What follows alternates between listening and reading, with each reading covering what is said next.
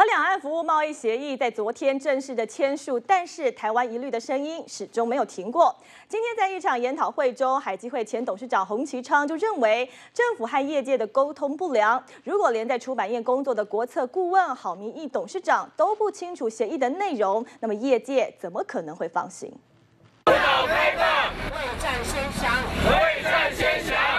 服务业开创新格局，两岸服务贸易协议二十一号正式签署，但是台湾产业界的疑虑始终没停过。前海基会董事长洪其昌就认为，政府的沟通确实出了问题。郝明义董事长作为一个总统府的国策顾问的人。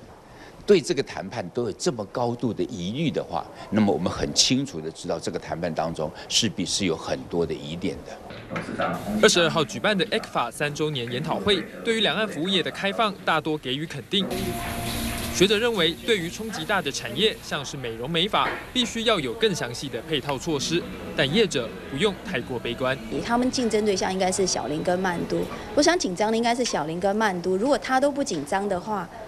应该没什么好紧张，而且我们还有这个一百元的理发店，应该没有必要吧？